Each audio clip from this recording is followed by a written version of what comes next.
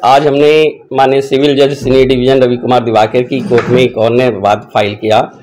ये मुकदमा जो था इसमें तीन प्रमुख मांग की गई। एक तो तत्काल प्रभाव से ज्ञानवापी परिसर में मुस्लिम पक्ष का प्रवेश प्रतिबंधित किया जाए।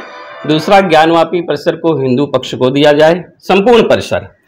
तीसरा सबसे महत्वपूर्ण मांग जो इसमें की थी वो ये कि आदि विश्वेश्वर स्वयंभू ज्योतिर्लिंग जो अब सभी के सामने प्रकट हो चुके हैं उनकी तत्काल पूजा अर्चना प्रारंभ करवाई जाए।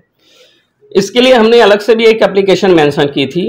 माननीय न्यायालय ने हमारे वाद को स्वीकार करते हुए, यानी केस को एडमिट कर लिया, विपक्षियों को नोटिस और उस एप्लीकेशन पे जिसमें हमने विशेष मांग की थी कि पूजा अर्चना का अधिकार दिया जाए तत्काल में, उस पर कल दिनांक 25 पाँच को सुनवाई के लिए लगा दिया गया है।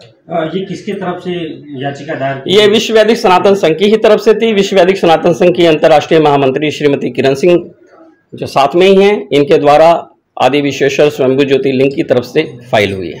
तो इसकी सुनवाई कल होनी है। जी कल।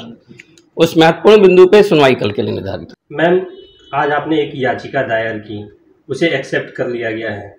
क्या उम्मीद लेकर के याचिका दायर की थी? क्या सोच थी इसके पीछे? ज्ञान वापी ज्ञान वापी परिसर को लेकर के हमने आज का दायर किया जो। हमने ये दायर किया कि जो है ज्ञान वापी परिसर पहला बिंदु है कि मुसलमानों से वर्जित किया जाए उस पर और दूसरा कि हमें पूजा पाठ करने का अधिकार मिले हिंदुओं को और तीसरा जो ज्ञान वापी परिसर पूरा परिसर है, वो हम हिंदुओं को सौंपा जाए।